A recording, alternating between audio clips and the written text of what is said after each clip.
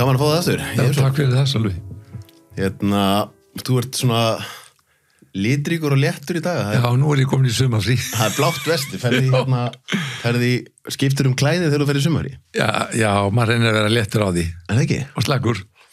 Já, Hvað er hérna, þú sagði mér og hefðir verið að pælja fara til spánar en ákvæmst að vera bara hér á hverju. já, það er náttúrulega, þetta er nú búið að vera svolítið stífur vettur en, en hérna, maður þarf að tengja svolítið landinu meira.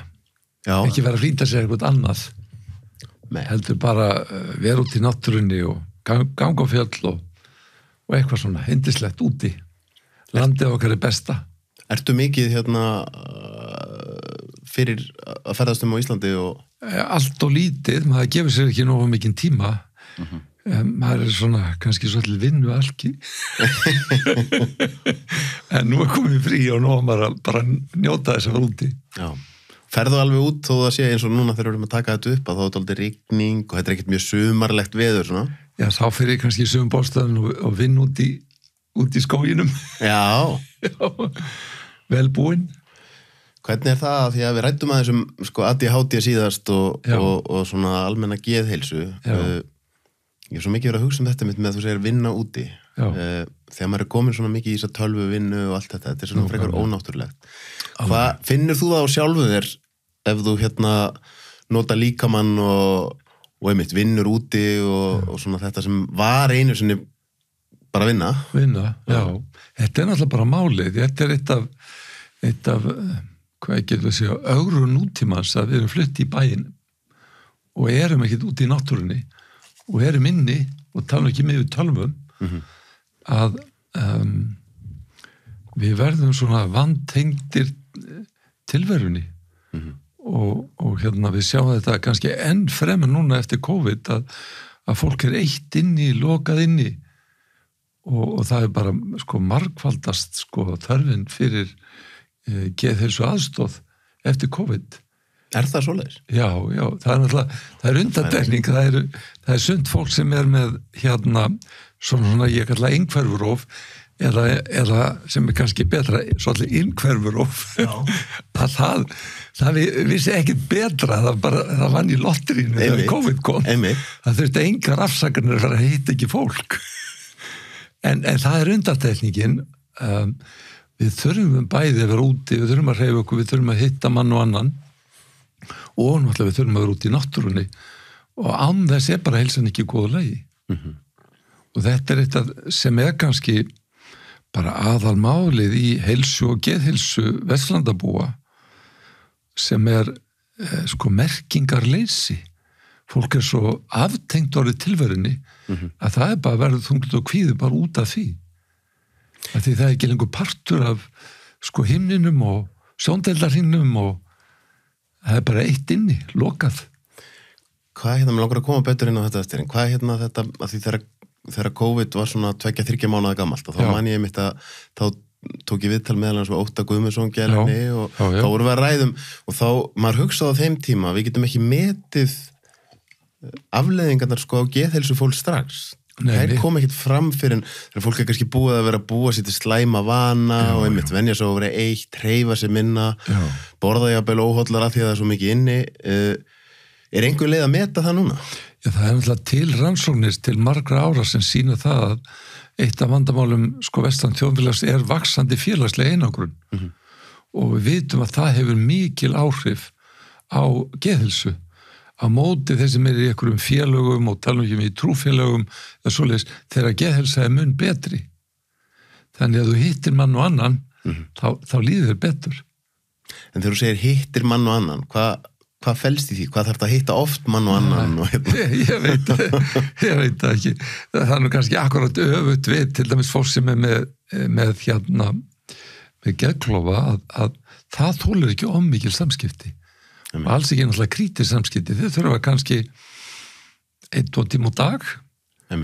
En, sem þau þóla eh, en við flest þurfum miklu meira til þess að, að, að hérna sumir eru svolítið báðu megin þurfa svolítið mikla innri ró en, en svo tíma með fólki.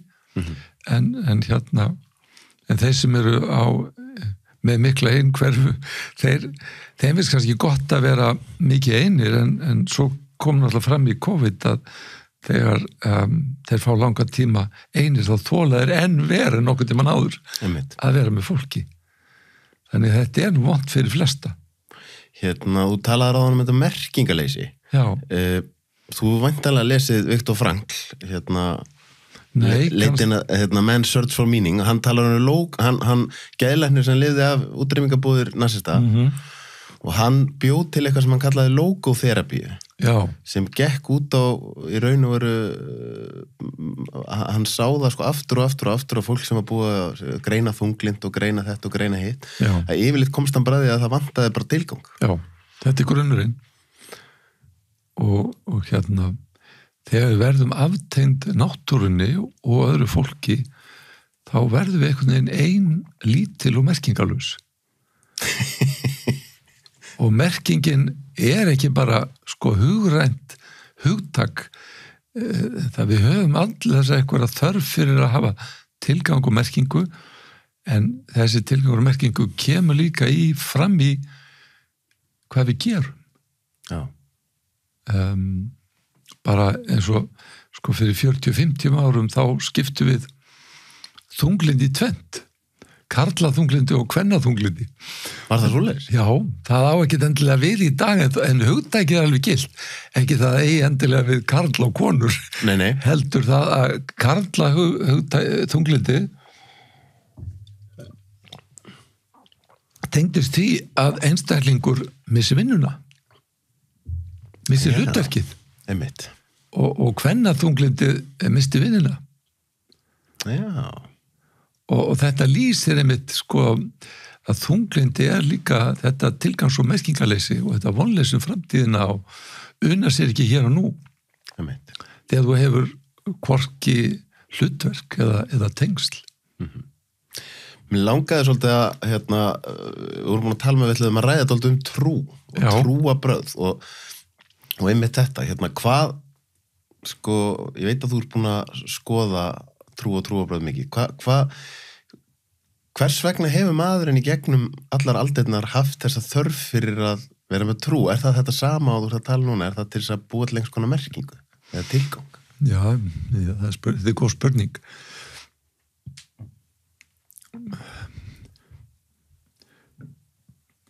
Sko þetta kannski kemur að hugmyndu flesta trúabræða að við séum sett saman úr mörgum hlutum og, og, bæði grísku heimsbyggingarnir og, og jafnvel á Indlandi töluðum þetta sem e, frumefnin, sko, jörð, vatn, loft og eldur og, og jafnvel fymta elementið.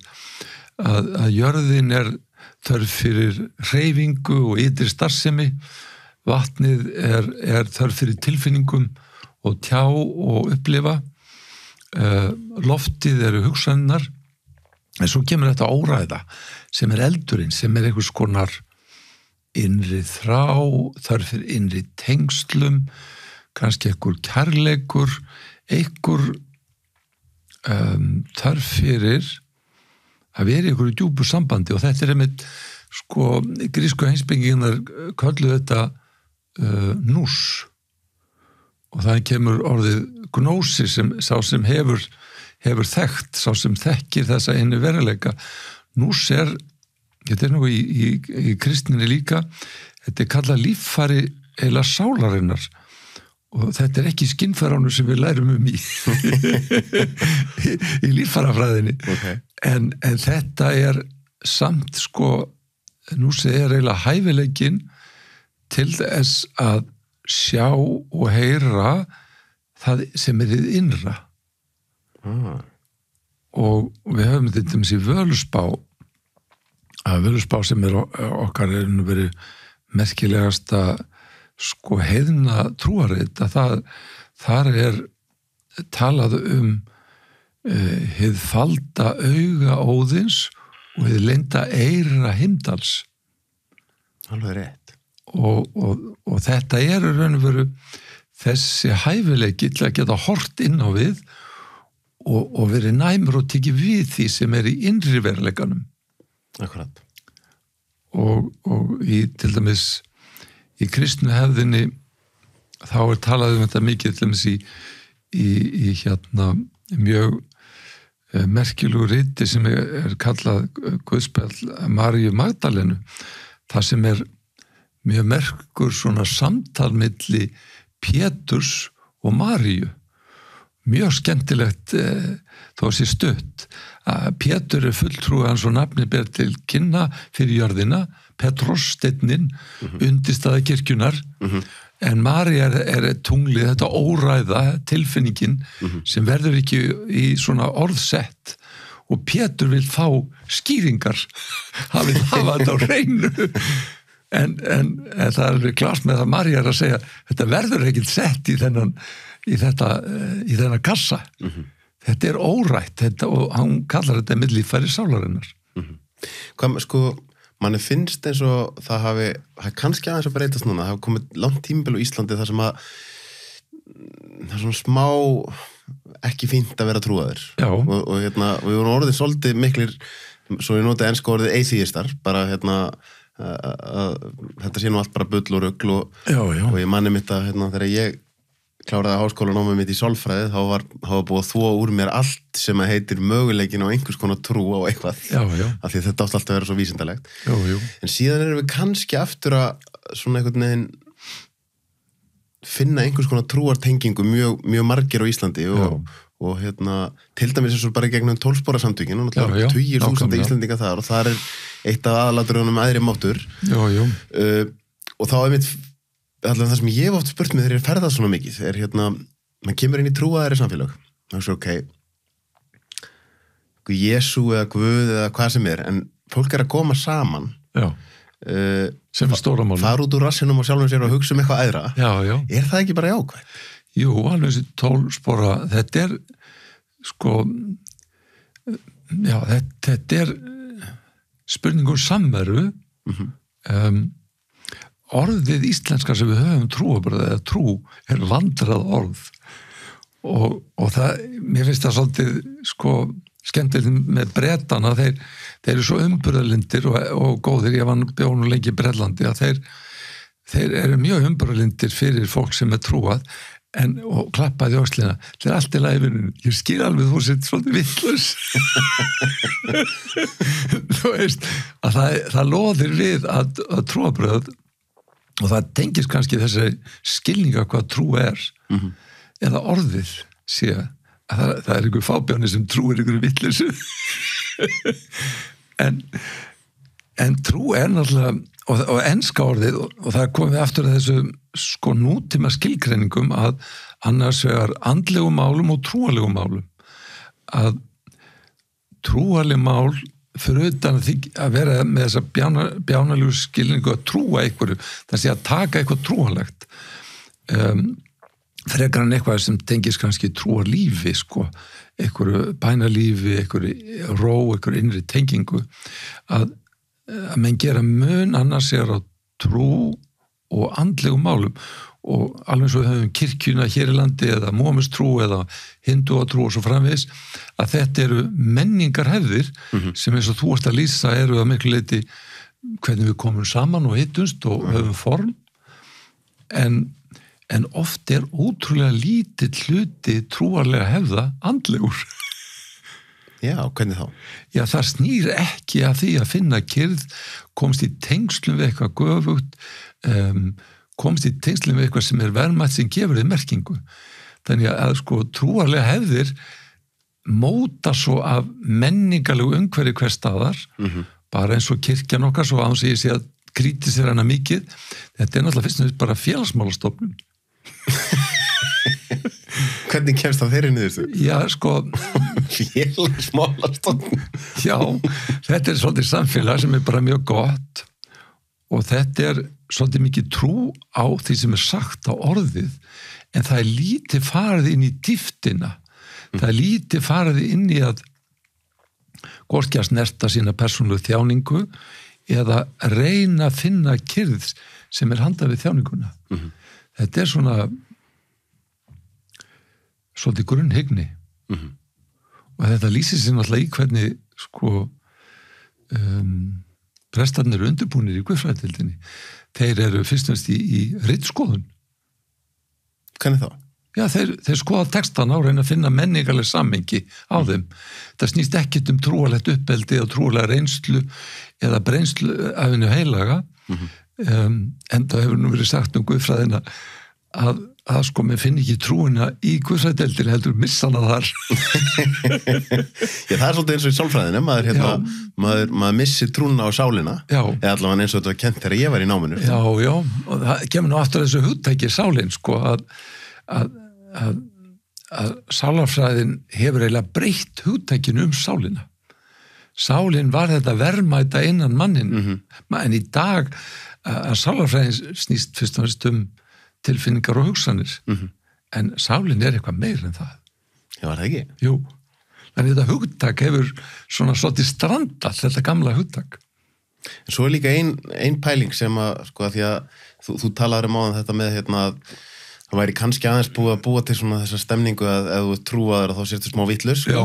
En, en ég upplifi svo mikið af fólki sem að ég þekki sem er búið að fara allan hringin, þar að segja að það byrjar með einhverja barnatrú, Já, já, já, svo hérna verður það uh, svona trúleysingjar, bara hætti að trú öllu, já, svo fer það að kafa og, og leita. Já, já, og þá finnur það að það verður að hafa eitthvað svona trú. Já, og ég man að hérna þegar að ég fór svona aftur aðeins að experimenta með það þá, Já. þá hérna kynntist ég góðu manni sem var með doktorspróf í, í vísindum. Já, og hann sagði mig að ég mæli með að þú prófir eitt svolítið að setja þetta bara upp eins og bara, bara hýpóþessu já, að þú bara hérna ferð núna á hnén og byður bara 14 dagiröð já, og svo skoðar hvort að hérna, þér líði ekki betur eftir þessa 14 daga. Nákvæmlega. þá skiptir einhver máli hérna hvað þér finnst Nei. um trúnu og allt þetta Já, já, já, og það var eins og við manni mælt sko að, að hérna, þetta hefði góð orðum nákvæmlega. Og þetta er nefnilega ekki mælt í hugsunum og, og orðleiri merkingu.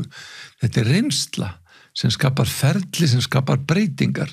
Verður ekki eh, sett endil í orð og það er með þetta hug, hugtak nús að, að það er verið að lýsa eitthvað sem verður ekki sett í orð. Það er, ha- og þessna sko rökikjan er í vandræði með þetta hugtak að því að sko hún á erfitt með að höndla það sem verður ekki sett í orð. góða búndir En það sem þú ert að lýsa er svo skemmtilegt í að sko við, við, við tölum, mikið, tölum aðan um þetta merkingalessi og, og þú talum um þetta ferli frá svona nánd og, og uppeldi í einhvers konar trú í að ta- tapa trúni og merkingunni sem skapar þá eitthvað óindi og eitthvað tengingarleysi. En, en það er svo gaglegt. Óindi Já, því að það er byrjun á viskunni, sko, það að vita ekki en finna það eitthvað vantar, það er fyrsta skrefið í að uppveta það sem innra með býr. Er það ekki hérna það sem oft setur fólk á svona ferðalagi að fara að skoða á dýftina, það er einhvers konar tilvistakrabba, Já, sem er svo gagleg. Og þetta er einmitt í, í gerlandsæðinni að þá, ég var nú meðlimur í, hvað hefur að segja þennum, andlega hópnum í, í, í Breska gerlansnafélaginu og þar vorum við að skoða margar hluti og, og hérna um, nú, nú mest ég þráðin, mest ég þráðin. Ég held að ég væri svo sem verður með aðtíð í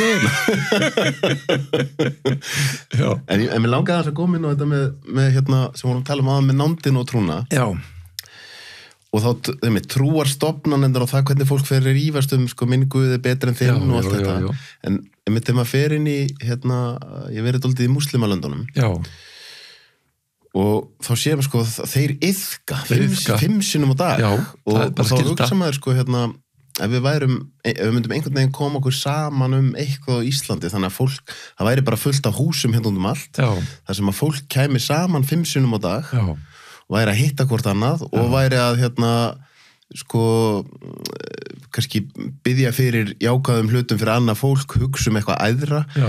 ég get ekki séðan en að það væri mjög jákvætt. Gæti haft mjög góð áhrif. Það er náttúrulega eru rannsóknir núna bara síðustu tíu árum bara til þess með sko núvitund sem er svona sko kannski formleysis að nálgun á huganum.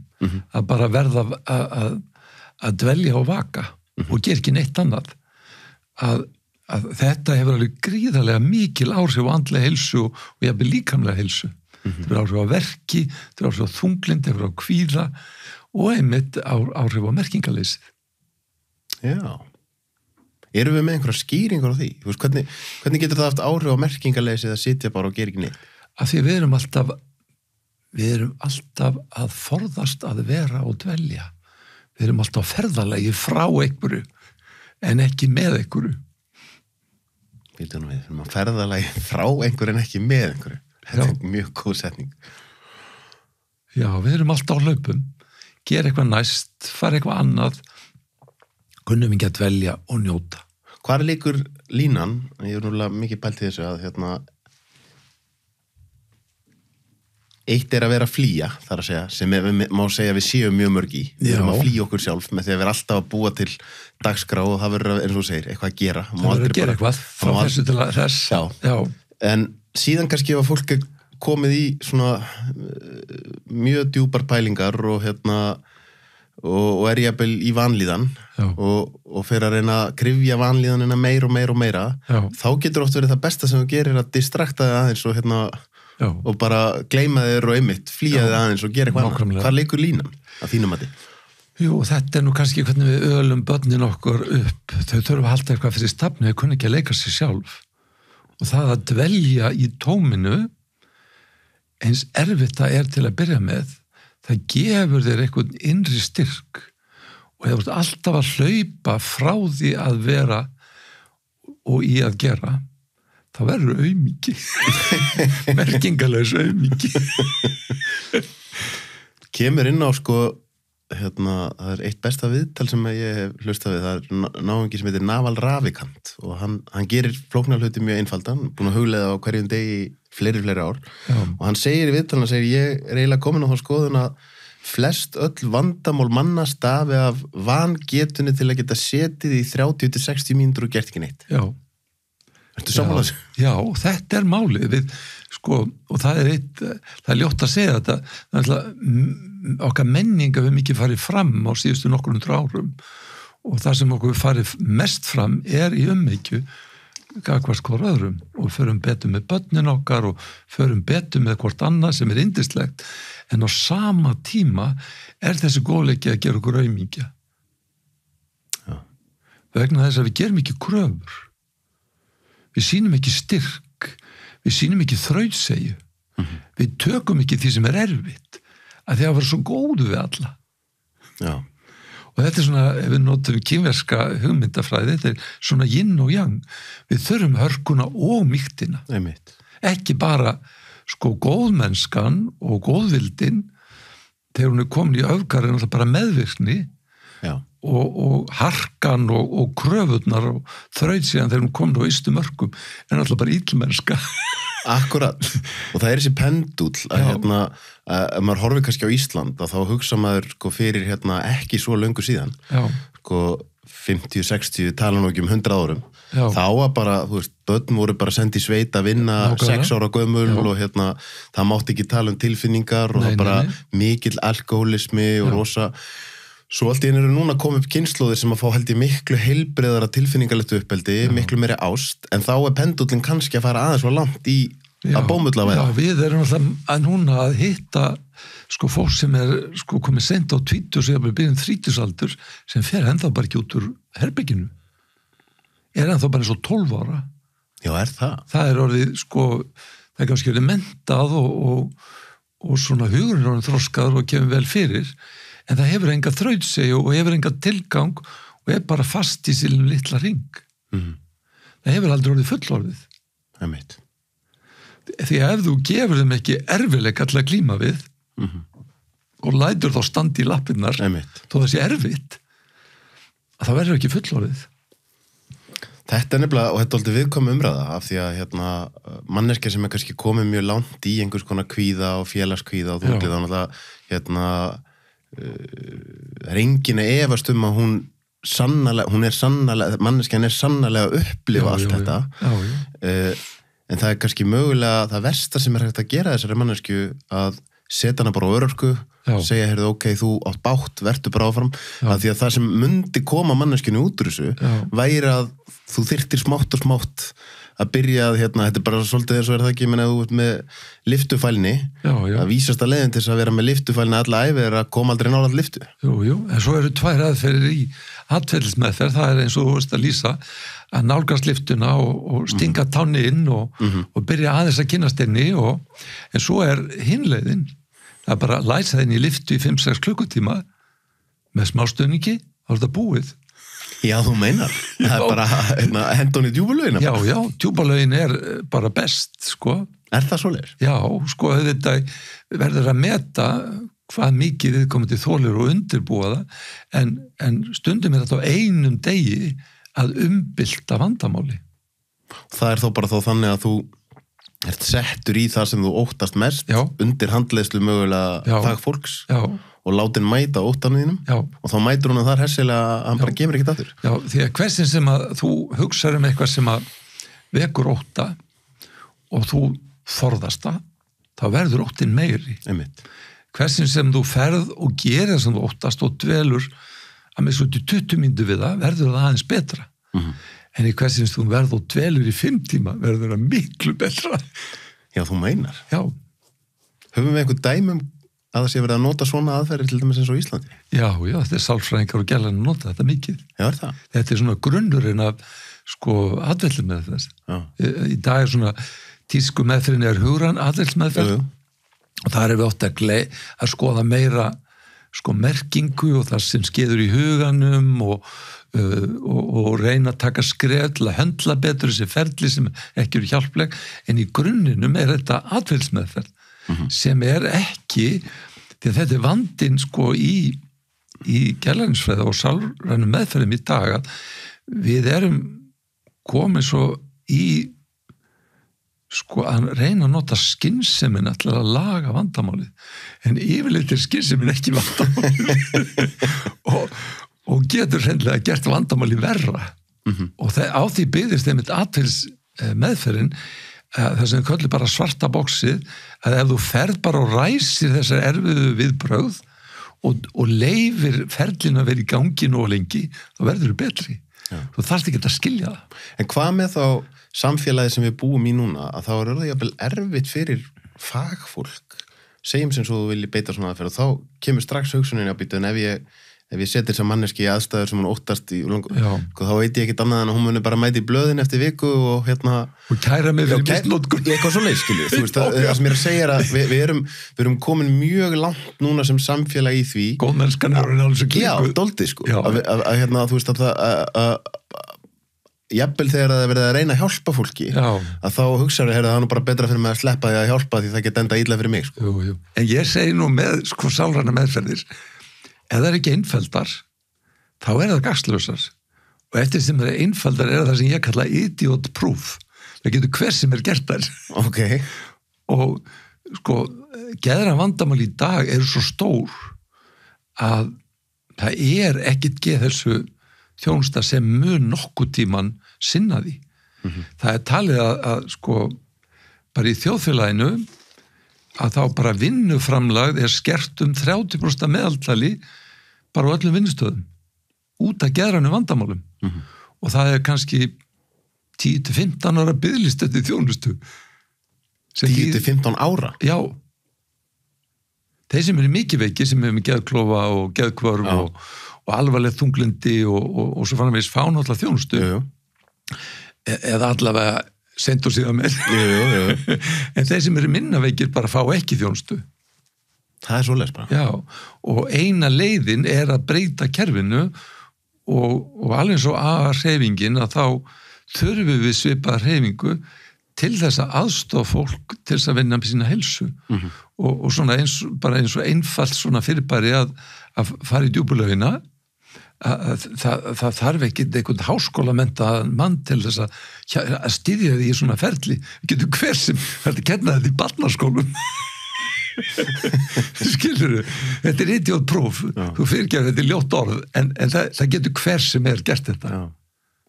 Hvað með einmitt þetta, hérna, því mér við kom, komnir inn á mjög áhugaverða slóði núna með, maður hugsaður um þú segir 30% og þetta virðist vera að gerast við í einu vestræna heimi, það er bara greiningar er að aukast, Já.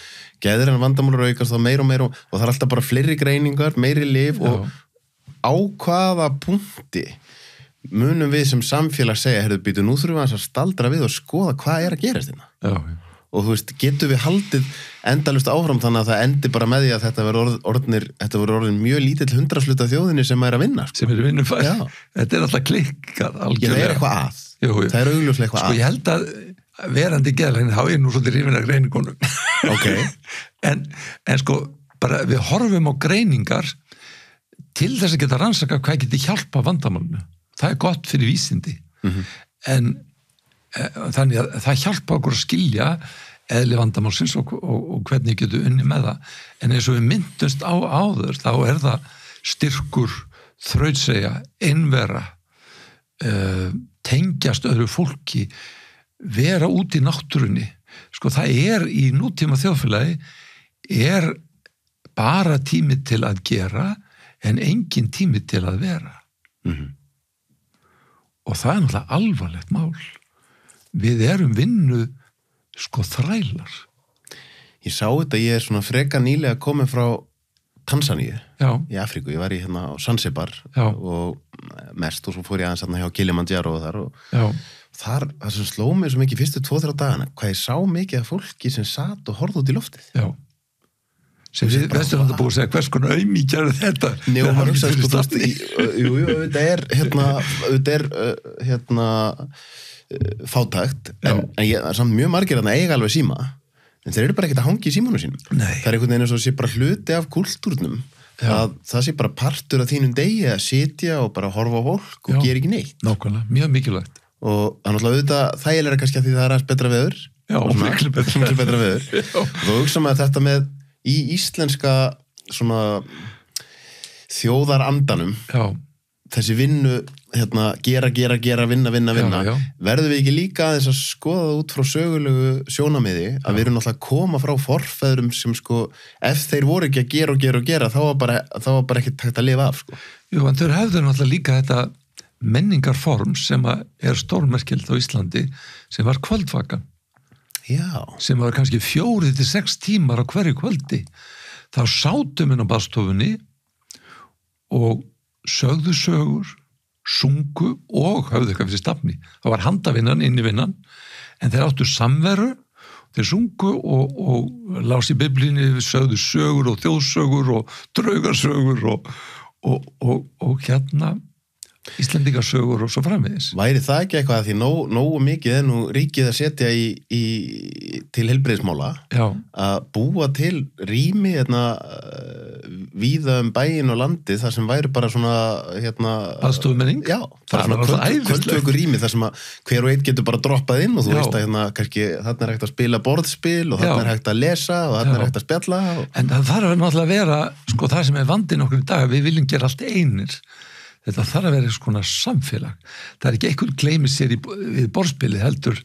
Það hafi að meina, allar þá er ég að meina að þú spilar þá borðspil með öðru fólki með öðru fólki, með hópnum. Já, það er það sem ég er að meina já, já, já.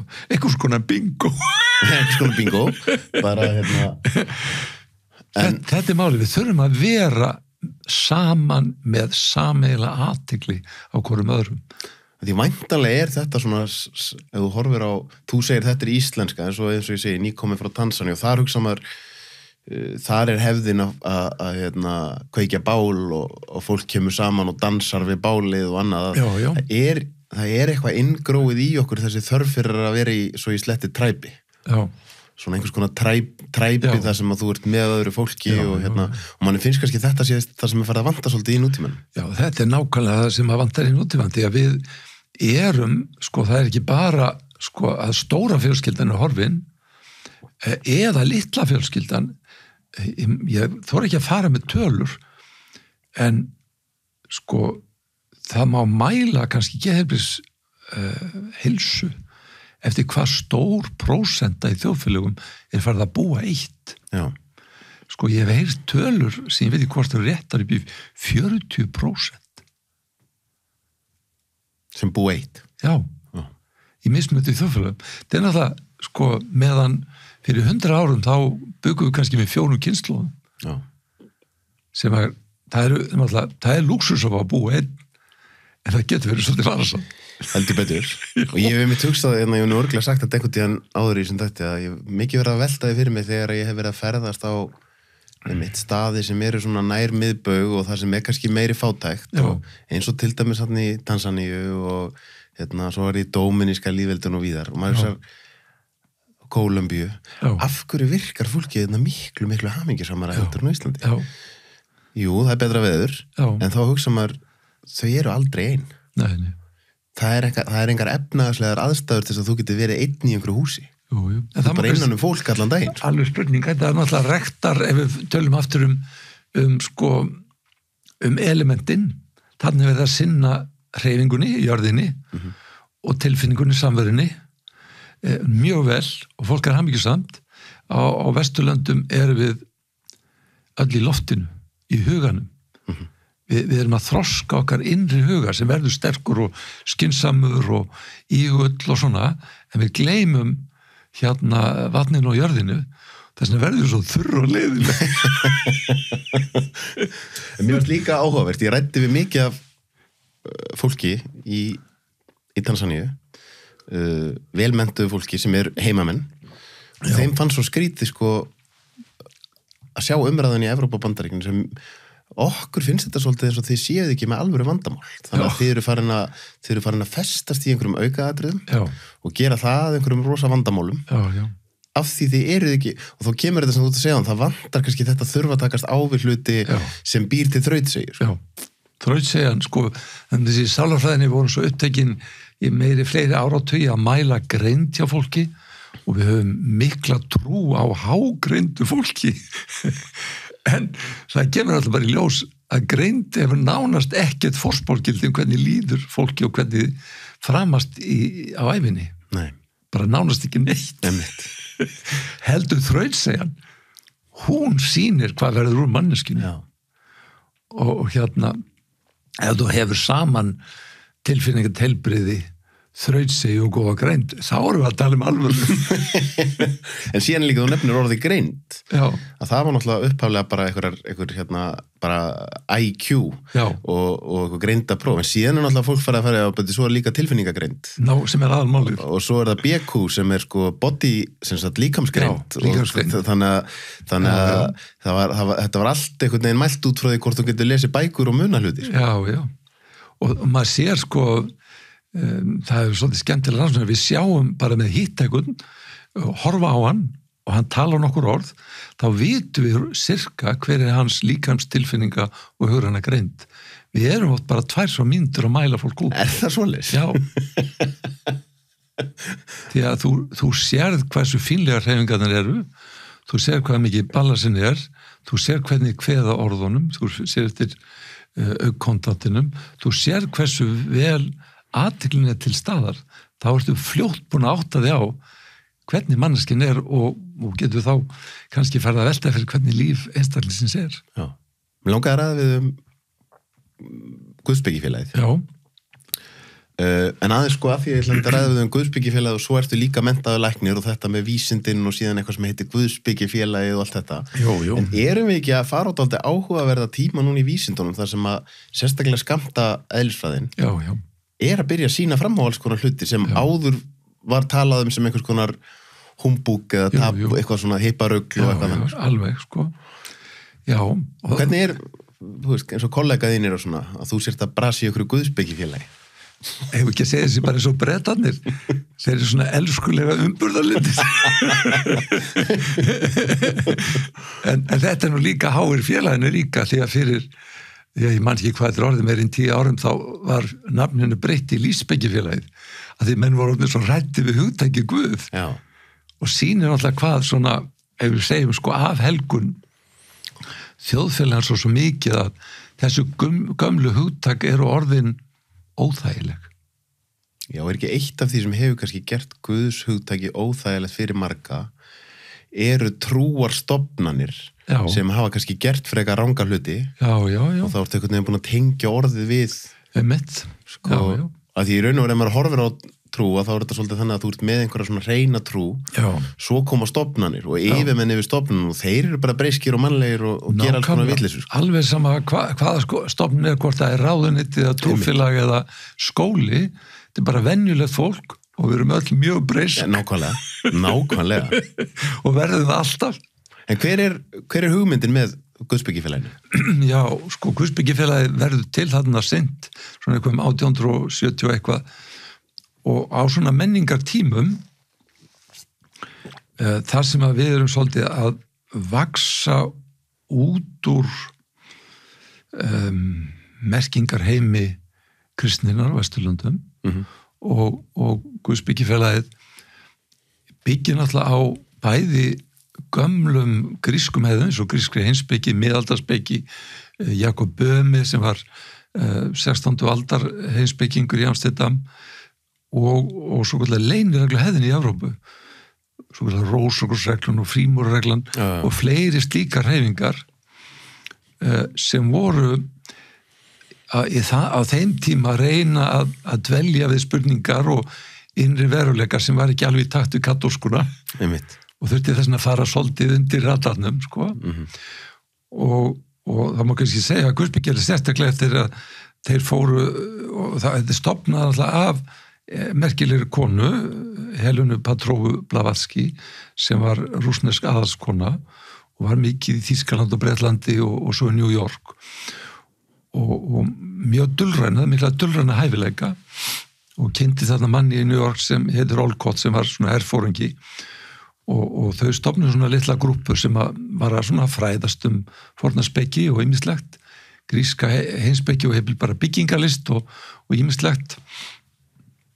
Og svo flytti að þau til Indlands og koma svo með þessar uh, hugmyndir til Vesturlanda aftur og fara að ógna sko hugmyndaheimi Vesturlanda, það sé að kristnu hugmyndaheimi. Og, og, og það sem að er kannski, sko, Blavaski var það var fyrir Google. Hún var Google þeirra tíma. Hún var alveg óhemju vel mentuð í trúabræðafræðum Mhm. og bara nánast yfirnáttúrulega. Ok. Og hafði bara einhvern veginn eh, menta sig gríðarlega mikið og eins og hún vildi meina hún vildi meina hún hefði aðgang að einhvers konar mannkins fræða eh, banka ok, í dölvutundin, þetta kemur nú kannski síðar eh, með Carl Gustav Jung að, að, að Carl Gustav Jung eiginlega tekur fram það að, að, að í draumum okkar, sérstaklega í dýbru draumum, erum við að sækja í menningararm sem er ekki endilega bundin þeim menningararmi sem við ölumst upp við.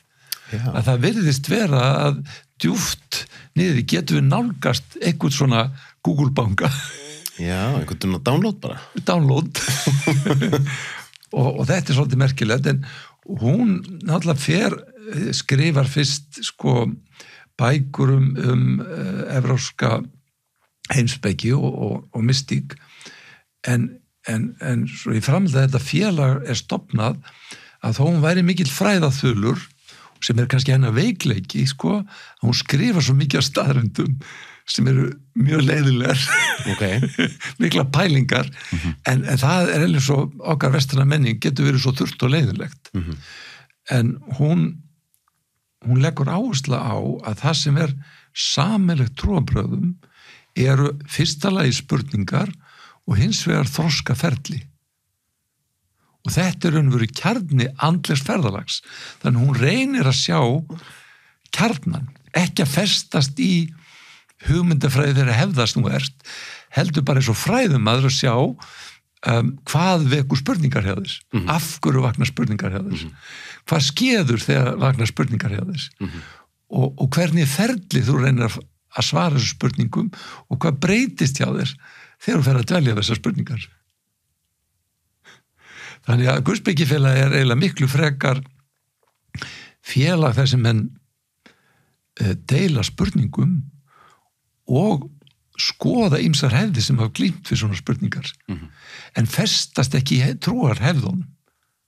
Eru þið að uh, svona á einhvern nátt að endurreisa þetta félag núna Já, þetta er náttúrulega félag sem er, um, er um, en núna, já, við erum að fara að halda upp á 100 ára ammælið í haust. Já. reyndur orðið 100 ára en, en út af COVID var ammælið sett á pásu. Ok, og þetta félag sko var mjög, mjög stert fyrir stríð. Og svona fyrstu áratugin eftir stríð. En en í, svona sem partur af, af helgun þjóðfélagsins sem að hefur á Íslandi verið mikið frá stýrstímum þá hefur áhugin minkað akkurat en, en nú erum við svo heppin að fólki líður svo illa. Vegna einangrun og, og reyfingaleysis og menningaleysis að, að fólk er verið að spurja aftur og, og fara að þrá menningu. Þetta er svona afturkvarf til andlera menningar. Og, og, og eins og þú veist að segja sko, AA-hreyfingin er fann að taka þetta upp og reynir að nálgast þetta fyrst og finnst bara með valdi hópsins og, og jú, það má nota kannski bænir, það má nota kannski núvitund, það má nota kannski eitthvað af þessu, en við skulum reyna að forðast sko uh, táknin. Og þetta er ferli sem við þekkjum í sögunni og þekkjum til dæmis í gyðindómnum og í kristninni. Þetta eru kallað myndbrjótar. Að þetta eru að í öll menningar uh, tímabil þurfa gangi gegnum regluga myndbrjóta tímabil þar sem öll að gamla sögur öll gömul tákn verða merkingarlaus. Ok. Og til dæmis í, í, í gyðindómnum aðal e, táknið í musterinu e, e, var var var trésúla með snáká. Alveg rétt. Og þetta er frá þeim tíma sem, að, sem er frá, frá eðmörkinni með Móses og, og, og, og snáka biturinn sem eru tákræn og, og hinn heila í snákur sem að læknar bitið og, og, og síðan er einn konungunum sem blöskar hvað menn trúðu mikið á þess en hann trekup hann leta hendanum út um musturinu þetta eru ekki um trekupinu með fórum búin að gleyma merkingunni. Einmitt. og svo kemur Kristur aftur sko, sem gamli snákurinn á, á trénu sem þetta einhvers konar visku eðli sem við þurfum að sjá á nýjan hátt. Þannig að þetta gamla tán kemur aftur inn. Og, og svo aftur í frumkvistnina fyrstu öldunum krist þá börðust menn um það eigum við að nota myndir? Eigum við að nota ták erum við ekki alveg hægt að nota ták og það verður stríð að svolítið milli sem kristallar svolítið setna milli austur og vesturkirkjur að austurkirkjan segir nei, nei, táknin eru aðalatrið þess að vera til íkonarnir sem þeir líta á sem hlið inn í þið heilaga. Já, en, en vesturkirkja sem nei, nei, nei, þetta eru orðin. Við erum ekki að festa í einhverju myndum. Þannig að orðbænin og sögurna verða aðalatrið þannig að annað verður orð og hitt verður mynd. Einmitt. Og, og, en, en við erum núna einmitt búin að brjóta niður alla myndirnar á síðustu hundra árum og orðin algjörlega orðunum. já, först í orðunum já. og nú er aftur komið þörf að myndum og táknum Hvað með sko, því við nefndum aðeins að samtökin og tólspóra samtökum, að ég hugsaði á einhverjum tímum, ég hef ekki hugmynd um tölunum, sagði, hvað eru margir Íslendingar sem fara í kirkju á sunnudöfum? já, Þeir eru ekki margir held ég. Nei. En hvað eru margir Íslendingar sem mæta sjálf vilju reglulega á tólspórafundi? já, Og þá eitt af því sem að maður hugsa er að þar er náttúrulega ekki, það er engin peningar, það er engin að fá greitt, Nei. það er engin yfirmenn. nei Og þar með er svolítið búið að taka burt já, það sem að kannski fólki hefur svona, ef maður, einmitt án þess að maður ætla að vera hérna, að gera lítið úr því að kirkjan náttúrulega er atkvar fyrir mjög marga á Íslandi já. og hérna press, mjög, mjög margt fólk sem hefur kannski ekki efna á að fara til sálfræðinga eða geðlækna eða byðinur og lönga þá getur hitt prest og annað. Já, já. þannig án þess að maður gerir neitt lítið úr því að þá er náttúrulega ef, að- að- að yðgendunum þínum fækkar svona Já, mikið já. þá er eitthvað rám já ef, ef við má aftur stríða svolítið kirkjunni að sko að lúterblæstaður sem að er merkilegu fyrir það hann er náttúrulega bara sko heitur trúar yfgandi í klustri sem lendir í pólitísku ferli og svo endur við með, með trúabræðhef sem er kent við lúter þar sem að trúarlífi er aukaðatriði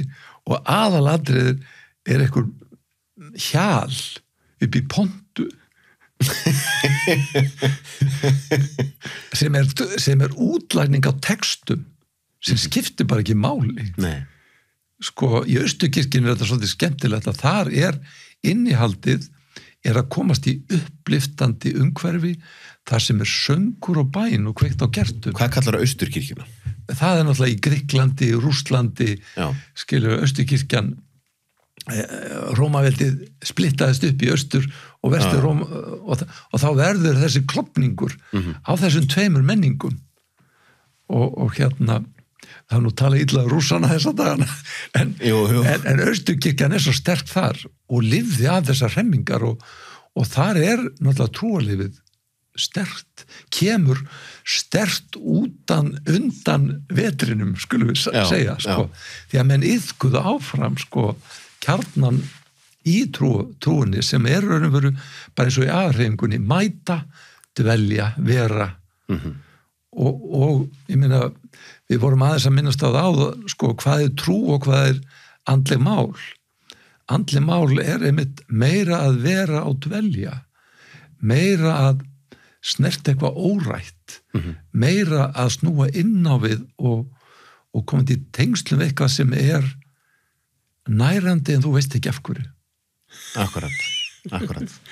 og þetta er er náttúrulega kjarnin í öllum trúabröðum en er bara ótrúlega lítið í, í nútíma sko trúarlifi þjóðkirkjunar eins og ég segi, hún er að verða bara félsmálastofnum Svo er annað, sem er kannski ein af ástafanum fyrir því að mannkynið hefur haft svona mikla þörf fyrir að vera með einhvers konar trú einhvers konar guð já, er bara að það verður að vera eitthvað eftir dauðan.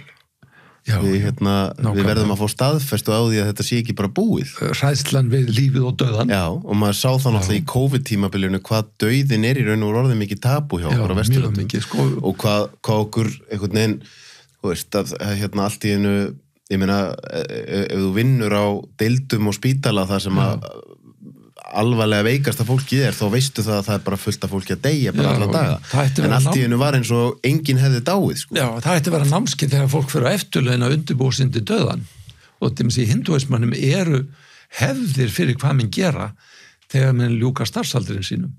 Og, og fólk sem er komin á stopnan eða skuli ekki verið í stöðugri íhugun á því hvað þýðir að kveðja. Það á ekki að vera vandamál fólk sem er búin að missa starfskraftana að kveðja þá bara verið í eðlegasta mál En er það samt ekki mjög, mjög eðlilegt og mannlegt að, Jú, veist, hugsa veginn, bara, er þetta að fara að vera búið? já, nákvæmlega, það eru það, það, það, það er náttúrulega í raun og veru allur ótti er á einhvern nátt sko á Tengdur- endanum ótti við, að deyja sko. nákvæmlega. Og það eru mjög skemmtilega rannsóknir sem að eitt geðvarnir hefur gert í áratugi sem eru nær döðarensla Einmitt. Og það er nú bara varðandi andlega reynslu það er eiginlega bara merkilegustu reynslandi sem að les um. Því að sko nær döðarensla snertir mjög marga mjög djúpt og þeir verða aldrei samir. Einmitt. og það er þess sem í trúabræðafræðanum er að það verður afturkvarf til trúar. En þarna er ég aftur svolítið feimin við orðið trú. Það er afturkvarf til andans. Já. um, við nær döðarenslu koma fram fyrirbæri sem að við þekkjum í hjá þeim sem yðka andlega leiðir. Um, það kemur merking það kemur tilgangur. Um, það koma sko fyrirbæri sem að uh, Bruce Grayson kallar the physio kundalini syndrome við erum að svo- dýrka svo mikið dag að vera með kapp kundalini activation jú, jú. process og kundalini í jóka og að vekja upp þennan lífskraft og þennan eld í bakinu. En hann kemur upp hjá nokkuð mörgum við nær döðar einslu og það koma svona skrítin fyrirbæri með fara að finna á sér fara að skilja betur hvernig öðrum líður. Það verður svona six sense. Og, og, og, það, og það hverfur hræslan við döðan og það sem er svo merkilegt að það kemur unaður. Alveg svo kemur það sem að maður kannski segja rekur andlega leit og þetta er það sem að kannski Guðsbyggjafélagi kennir hún, hún flokkar þessa andlegu leið niður í vikslur fyrsta viksla, anna viksla, þriðja viksla og svo framvis og fyrsta vikslan er sem skeður yfirleitt hjá flestum á, á úlinsárunum eiginlega öllum held ég. Það kemur eitthvað moment kannski þögn kannski einhver dýft kannski einhver spurn. Og í heimsbygginu er mikið tætt tala um þetta sem móður heimsbygginar að það kemur þetta moment. Og, og þá velur um allir að rökva frá þessu eða vekur þetta áhuga minn ef þú rekkur frá þessu þá ertu oft brendur alla æfi að vilja ekki komast nálagt þessu og vera hrættur í þetta og döðan einmitt. En ef þú ef þú leifir þér að falla inn í þetta þá getur jafnveg komið unaður og þá er þetta bara orðið svo fíkillinn. Skilur ég vil meira þessu.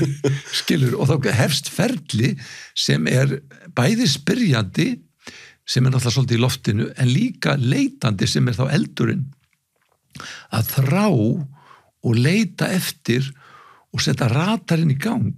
Hvernig finn ég þetta aftur? Er það ekki rétt hjá mér að pappiðin hafi verið að rannsaka þetta aldrei mikið? Jú, hann rannsakar náttúrulega mikið sko nær döðarenslu en meira svona frá sjónameði dulræðna fyrirbæra. Já, sko að, að hérna og líka náttúrulega tengt eh, hann, hann, reynsla lifandi fólks af látnum. Það er mjög algengt hann gerir rannsókn á Íslendingum um hvað margir upplifa eh, fólk sem er bara er að deyja en í dáið.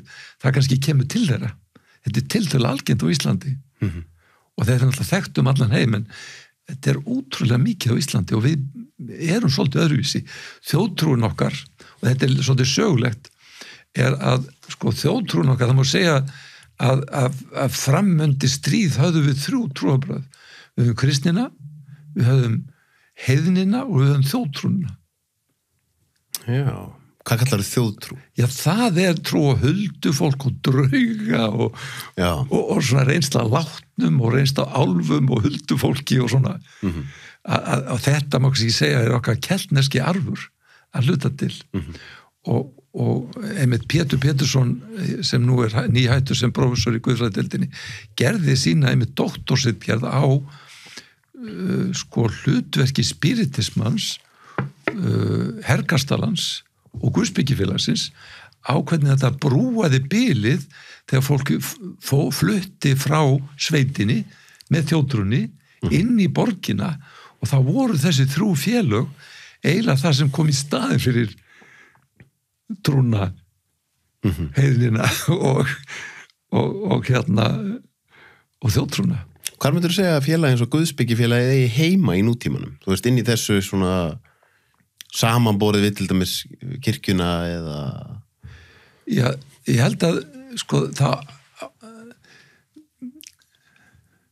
þá heima að minna fólk að hafa umbrölendi fyrir öllum leiðum Eh, það eru alla leiðir í raun og veru með andlega kjartna en við verðum að skilja að, að, að menningalegur bakgrunnur hverjar þjóðar hefur litað þetta og kannski skikt hansi mikil já. á andlega hlið já. og þá er spurning hvernig geta þessar hefðir endurvakið sína andlegu arfleið Mhm. um, því að eins og ég segi með Guðsbyggjafélag við erum fyrst og fremst um, við spyrjum spurninga og hvetjum mismundir hreyfingar til að spurja sig spurninga og fá mismundir hreyfingar til að ræða saman um hver eru andlegar hefðir þeirra og hversu mikið hefur snjóað yfir þær.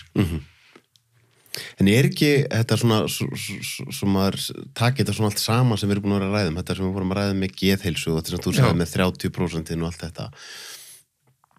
Hver væri leiðin fyrir okkur sem samfélag til þess að talandi um þetta einhvern veginn að vera alltaf bara, veist, við erum bara í deginum í dag og það þarf bara að gera og það þarf bara að redda og eitthvað svona. Já, Þurfum við ekki sem samfélag einhvern veginn að um, veist, þetta er ákveðin faraldur sem er í gangi. jú, Þetta merkingaleysi merkingleysið og, og, og að því tölurnar sko eru bara á upplið. bara á Það upplýð er bara meiri Já. eh, kvíði, meira þunglindi. nákvæmlega hreyfingaleysi og, og samveruleysi og, og í annari merkingu náttúruleysi en þá kemur aftur þetta vandamála, svo ætlum við að fara að ræða þetta og þá er, sko, eitt segir við um að gera þetta svona, annar segir um að gera þetta svona og þá getum Já. við ekki komið okkur saman um hver á ákveða. Nei, við hefum alls ekki að koma okkur saman það er heila málið Ok. við hefum að koma okkur saman um að koma okkur ekki saman við hefum að hafa mismöndi skoðanir Mhm.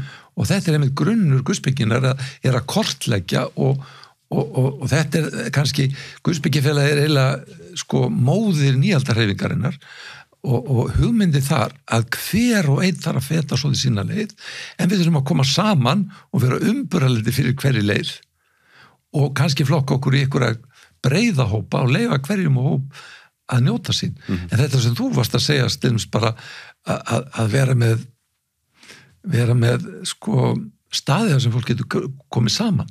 Vera með einhver hús eins og minnst að komin í Bredlandi svona samfélagshús, fólk kemur og les og á stundir saman í einhvern klubum Einmitt. uh, við þurfum að endurheimta stað fyrir stóru fjölskylduna þá þurfum við að endurheimta træp Já, því maður hugsa kannski fyrir, þú veist, að því þú nefndir á það hvað eru margir sem búa einir. Já, Kannski, þú veist, ég veit ekki, náttúrulega, sömur eru kannski mjög sáttið það, en svo kannski fullt af fólki sem býr eitt, en er svona, heyrðu, ok, ég, hérna, ég, get ekki bara, hérna, hafið sambúð með hverjum sem er, skilur það ekki, en, en það þýðir ekki að mér langi ekki að vera innan um fólk. nei, Og þá vantar kannski svolítið, hérna, sambílið Já, bara einhvers konar svona Já. ég var einmitt að hafa tuksa sko af hverju það væri ekki löngu orðið eitthvað neginn að hérna að það var orðin svona stóri kjarnar þar sem að veist, þar sem að þú ert með íbúðir Já, og hver og einn býr annarkvort einn eða með sinni fjölskyldu Já, en svo, svo væri inn í kjarnanum sameiginlega rými þar sem Já, að ef þið langar að borða einn inn í þínu þá gerur það en svo er alltaf sameiginlegt rými þar sem fólk er að borða líka sko. Og hérna það er eitthvað sameiginlegt rými þar sem fólk er að veist, spila eða horfa á bíómyndir eða eitthvað sko. En þetta kemur líka skattheimtu.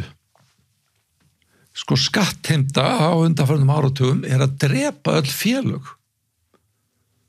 Sko eh, bara fyrir 10-20 árum þá var hver kór og, og hver litla félag með sitt eigið húsnaði en það er búið að skattheimta sko félagshúsnaði svo hátt að það er ekki hægt að rekka þau. Já, þú meinar Já, þannig að skattheimtan sko um, uh, bara hver sko er, er það svo gríðaleg að það er verið að drepa félagslífið þannig ég held að þetta, sko, stóri bróðir þarf að eiga hlutdeld að þessu.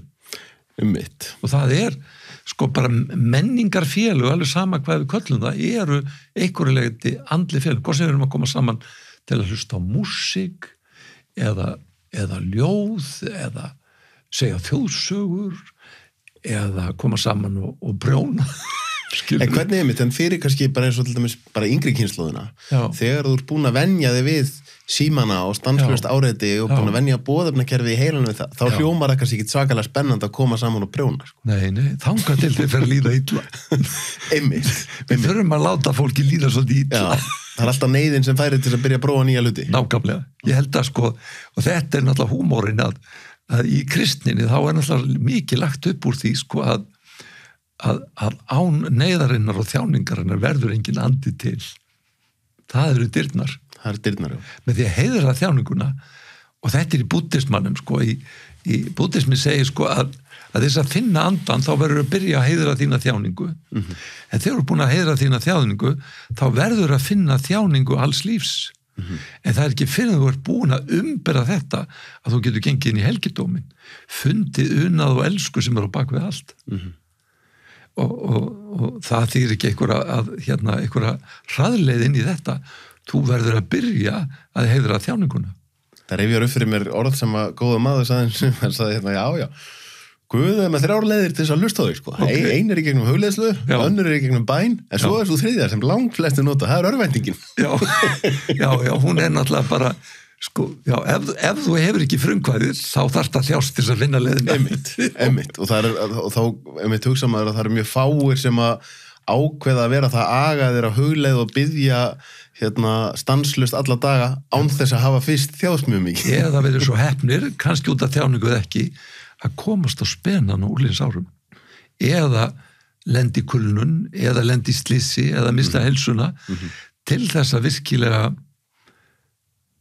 vekja spurninguna, vekja móður viskunar sem er náttúrulega nafnið okkar félagi Guðsbyggifélagsins Theosofia þetta er hugdrag um neoplatonismans eh, sem verður til í, í Egyptalandi eh, og fæðist náttúrulega frá Píðagoras og Plató úr heimsbyggi skólanum. Að, að sko eina raunverulega spekin kemur þegar þú fer að þekkja þess, þennan innri veruleika það er eina spekkin þannig að Theosophy eða Guðspekkin er bara einhver óræð biska sem kemur við að snerta það sem innra býr. Akkurat. Já, láta það vera að lóka orðinu er þetta ekki bara gott? Þetta er mjög flott. Já, Þú kemur aftur bráðum já, já. Ok, Gaman að fá því takk fyrir það